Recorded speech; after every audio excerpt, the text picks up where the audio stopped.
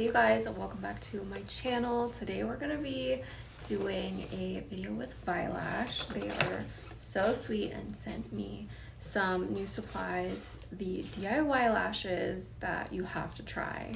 These ones are the SHE-E-O and the Royal Clusters that they sent me. This video is sponsored by Veyelash, so shout out to them. Thank you so much for sending me some new lash supplies to try. I always love their supplies. They're affordable, they ship super quick, and they're very cute. So you can really like customize your entire setup around Veyelash lash products. These products are awesome for beginners, which is also why I like using them. Their tweezers are amazing. So that's why I'm excited to try these DIY lashes. I had the pleasure of doing these on a model. So these ones are the SHE-E-O and the Royal Clusters. I will show you guys a little close up of what they look like. So these ones are the Royal Clusters. So these are a bit more on the dramatic side. I love these. They are super cute um, and perfect for anyone who wants to have lash extensions, but maybe you are allergic to glue. Maybe you can't have lash extensions because you just literally can't sit through the process.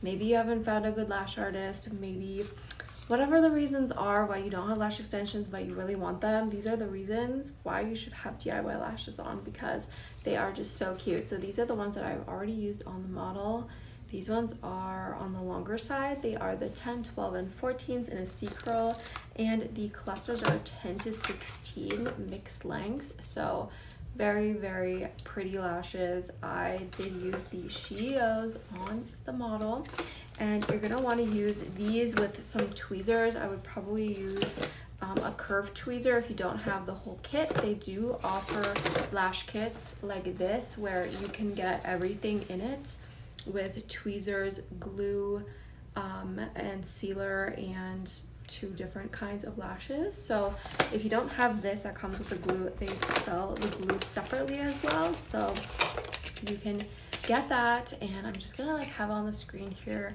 how I applied the lashes to my lash model. I think it turned out really nice. This time I did it on lashes with mascara. My other video that I've done before was on just like natural lashes without anything on it.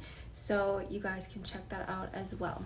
I love how the lash look turned out with the mascara on. I avoided the inner corner and just basically did lashes from the center and outward. I did three uh, different little clusters of the SHE-E-O look. And again those are in the C curl 10 12 and 14 lengths.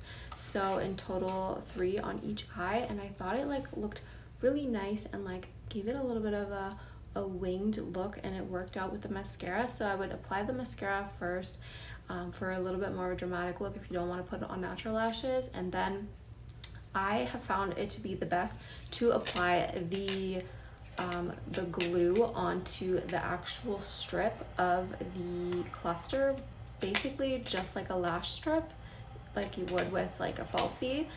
It just comes out the nicest. The glue is really, really great. And that's why I would avoid putting it on the entirety of the lashes. Like some go and just swipe it on the entire lash. It will make your lashes kind of like stick together a little bit more and put basically glue on the entire lash, but I think you can avoid that easily by just putting glue onto the cluster um, and just like the like the strip of the actual cluster and that is how I apply them.